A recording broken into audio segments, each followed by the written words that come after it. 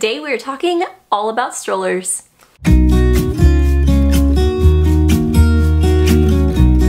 Hi guys, welcome back to my channel. My name's Nicole and over here we talk about everything from parenting, tips, tricks to product reviews. And if you're new here, definitely consider subscribing. Today we're doing a super fun sit down video and collaboration video with Meghan Kingsford. Um, she is an amazing mama. She has three little kiddos just like I do and she also loves diaper bags and strollers. So we thought this was a natural fit. Um, we are collaborating to tell you all about strollers and um, I couldn't be more excited. So be sure to check out Meghan's channel and her video um, in the description box. Plus, anything I talk about today will be in the description box down below, so that way you can reference it easily. It's been a while. I don't know if I've even ever sat down and just done like a story time video with you. Be sure you have a drink. I've got mine, a snack maybe. I'm just kidding. But I'm gonna walk you through my stroller journey. Um, I'm a mama of three. I have a six-year-old, a four-year-old, and a 19-month-old. So let's start with baby number one. Sweet Tyler. I was a first-time mom and I was so meticulous about researching and preparing for everything. My Pinterest board was full of things for baby and I was doing all the research. And where I landed was on a travel system. It made sense to me. Um, you know if you have one kiddo, you have a couple of options. You could do a travel system or a convertible uh, car seat, right? So a travel system is a car seat and a stroller that work together as a system, right? So you're able to take the car seat out of your car, place it right on top of the stroller, and just keep on moving. Honestly, I went this route because I never, I just remembered my mom saying in my head, never wake a sleeping baby.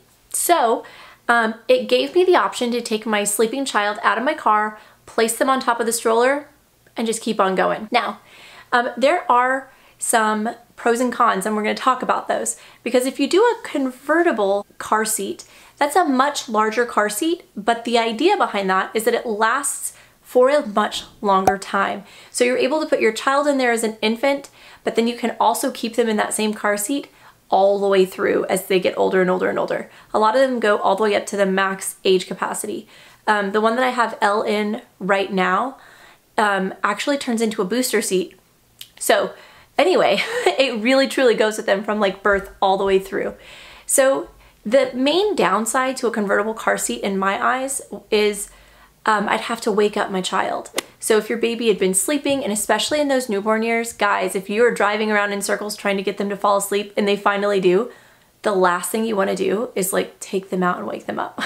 so in a convertible car seat, while you do save money in the long run because you can use that same seat for a lot longer, the downside to me is that I'd have to wake up my child, take them out, and then place them in a bassinet, right? Because I was a first time mama, I chose the travel system and I used the Britax.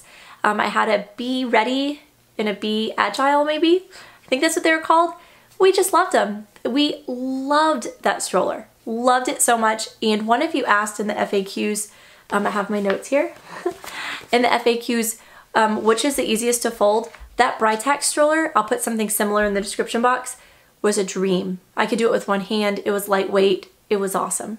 Um, so continuing in on my journey, as a second time mama, um, my little boy was two and a half when our second was born.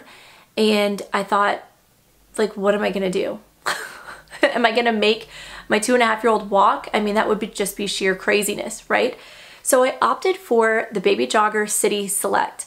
Guys, that stroller, and it, they still offer it today. My video here on YouTube, I'll link down below, is the most popular video on my channel because I think so many people are interested in it. But um, that stroller changed my whole stroller life. and I know it sounds dramatic, but the benefits of that baby jogger stroller, it had 16 different configurations.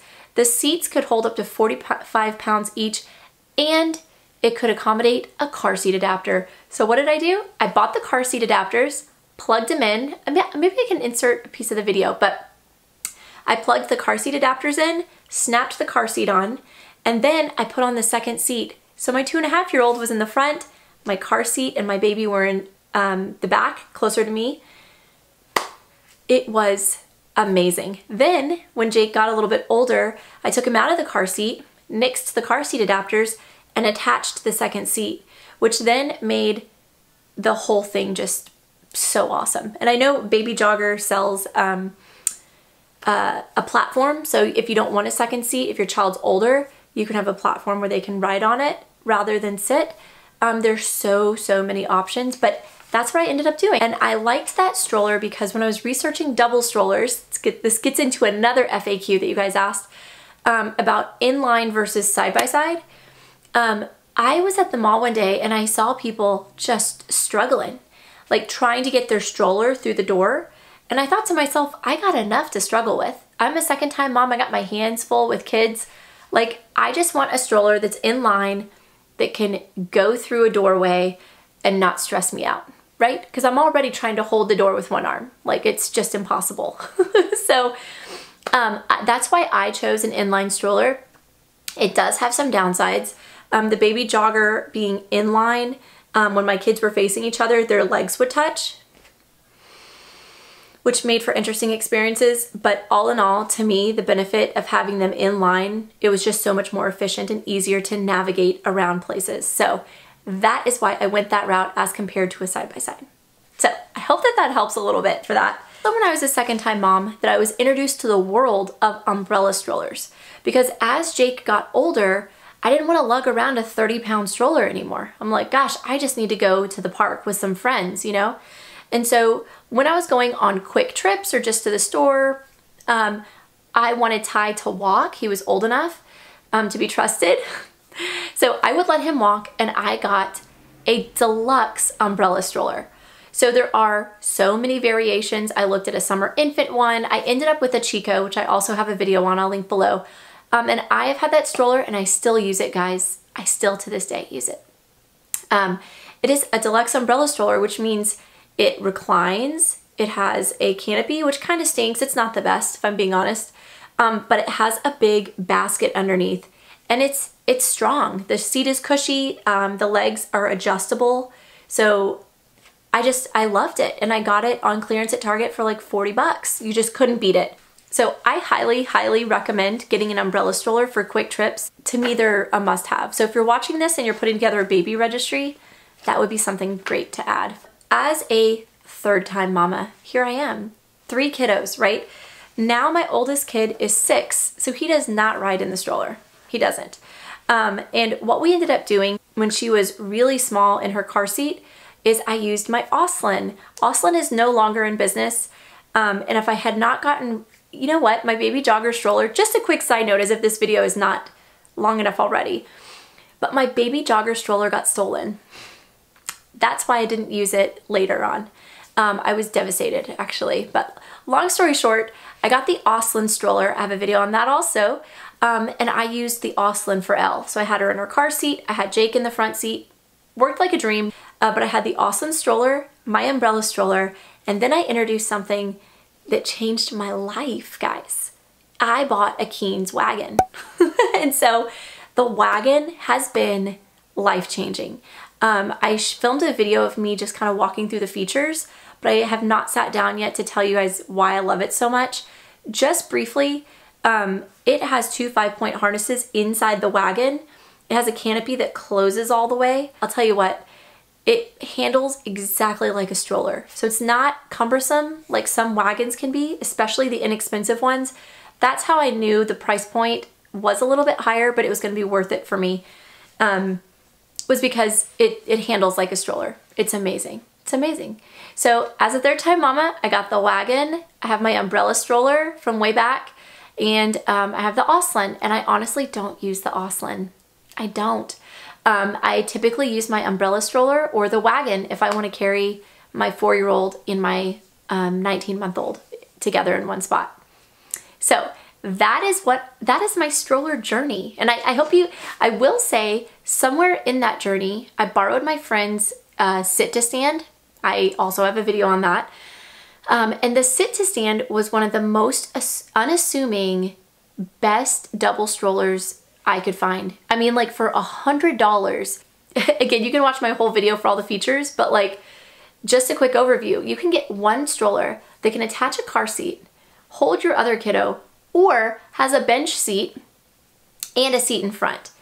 I mean, I can't say enough good things about that. Is the quality gonna be the same as like a City Select, absolutely not, you know, but is it gonna get the job done? It is. So if you're looking for a cost-effective, affordable option for a double stroller, like a sit to stand type of situation, the Baby Trend sit and stand, it's great. Can't say enough good things about it. So there was my stroller journey. I hope you're still here. I hope you have not fallen off yet. Um, and if you need to take a drink, you can. but that was my journey from first, second, and third kiddo. I've learned so much along the way. So let me wrap up by catching any FAQs that I may have missed. So someone asked for the best stroller for a three-year-old and a newborn. Because your child is older, they're three, you may want to go for a less expensive option, um, in which case like a sit and stand would work. Perfect. That's really it for the FAQs because I answered most of them as I was talking. So let me just leave you with this word of wisdom. If you're a mama sitting at home at the very beginning of your journey with kiddos, say maybe you have one, um, maybe you are just pregnant looking at resources online and you found me. Um, my biggest piece of advice is to invest in a nice stroller like the City Select um, where you can use it as a single stroller, you can use it as a double stroller, you can use it to attach your baby's car seat, you can buy optional accessories to make it a sit and stand, and that way you're not buying more strollers, you're just buying one and it's growing with your child. So I think that's the biggest piece of advice and also buy an umbrella stroller, which is under $100. Those are my two pieces of advice for you guys. And I hope that you found this helpful. I hope that you liked this story time kind of setting. If you did, please give the video a big thumbs up, subscribe. Don't forget to go watch Meghan over on her channel and drop any questions at all you have about strollers. I'm happy to share my experiences with you um, in the comments down below. I'm happy to help. And I will see all of you guys again in my next video. Bye guys!